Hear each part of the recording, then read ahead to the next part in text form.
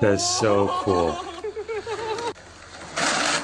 Let's figure out how fast she's going. We can pause it right here and let's look at her skateboard. Let's give the length of the skateboard a variable b for board. And let's duplicate the board and drag it over here. And let's stack another one on top and another one right there. So we can see the diameter of the circle is equal to two and a half boards or 2.5 b. And that means the radius will be equal to half of that, which is 1.25 b. Now, what do we know about B? Well, skateboards tend to be between 28 inches and 33 inches long. So B is most likely between those two lengths. Now let's get rid of the labels. I want to relate this compound inequality with our circle. Instead of B, I'm more interested in R. So for the next step, let's multiply this B times 1.25 so we can find out the radius. And whatever we do to the middle, we have to do to all three of them. So we're going to multiply all these by 1.25. 28 times 1.25 is 35, and then 1.25 times b will be 1.25b. But we know that 1.25b is the radius, so let's change this to r.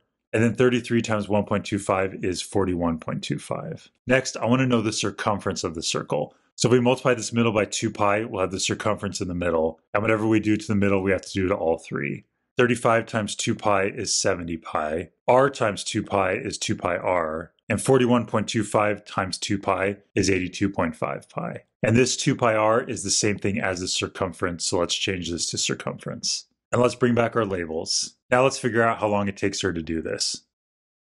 It took her 0.95 seconds to do the whole circle. So let's divide these by 0.95 seconds. 70 pi over 0.95 gives us around 231.5 inches per second. And then this fraction in the middle, circumference is basically our distance and 0.95 seconds is the time. And distance over time is basically the speed. And then 82.5 pi over 0.95 is approximately 272.8 inches per second. So she's traveling somewhere between 231.5 inches per second and 272.8 inches per second. But let's convert this into miles per hour. So let's multiply both of these by one mile over 63,360 inches, and then multiply each of these by 3,600 seconds over one hour. And let's figure out what these equal. These two inches will cancel each other out, and so will these two inches. And these two seconds will cancel each other out, and so are those two seconds. So we can see now our final answer is going to be in miles per hour. And after we do 231.5 divided by 63,360 times 3600, we get 13.2 miles per hour.